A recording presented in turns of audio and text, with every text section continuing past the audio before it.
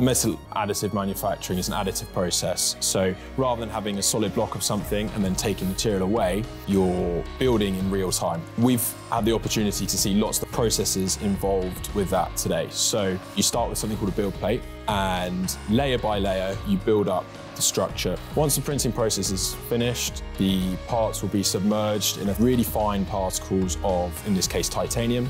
Inside that environment, the engineer will remove all of the powder, but it's not absolutely perfect. It's got a lattice structure and that provides lots of empty cavities for this potentially harmful powder to remain in.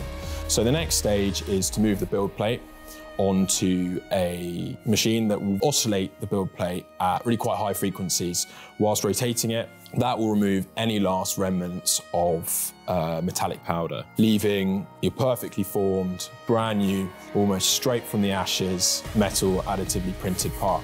They go over the build plate with a laser scanner and that slowly builds up a real-time 3D image on the computer. We've got a really reliable way of making sure that what's coming out the other end is exactly what we chose at the start.